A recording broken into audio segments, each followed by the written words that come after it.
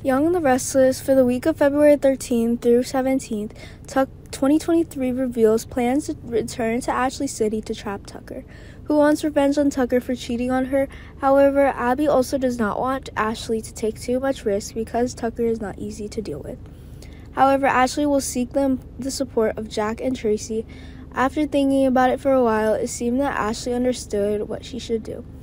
Ashley will eventually be able to think straight and will come up with a plan in her head. All of this while Tucker is the one who has the upper hand in the relationship.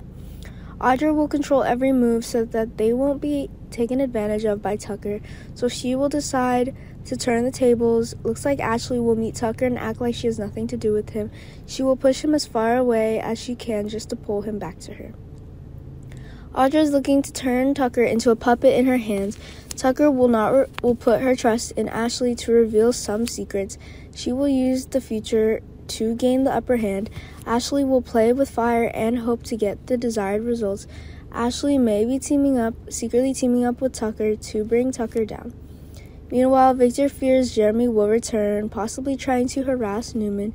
Jeremy will gladly play, pay the prices for all those who betrayed him. Jeremy will ravage all those who have harmed him like a stray tiger, and Diana Jack will be at the top of the list. He will also have to deal with Victor and his threats. Victor's problem will continue to mount over the next week. Next week, Daniel will have a dramatic argument with Phyllis about his relation- private relationship with Heather and Lucy. Daniel doesn't want Phyllis to interfere with his personal relationship when he hears that Heather and Lucy will be returning to the city soon.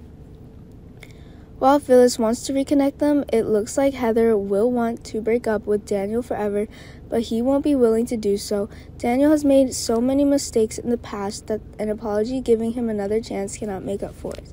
Meanwhile, Daniel is trying to win Lily's heart to forget and ab- about Heather's figure. We have to wait and see if Heather is willing to give her her ex-husband a chance. However, Daniel does not reveal any secrets to Phyllis. He just wants to end his relationship with Heather. Stay tuned to see what happens as Y&R will air more action episodes in the future. The Young and the Restless airs weekdays on CBS. For more content, updates, and disclosures, visit our website TV and disclosure section.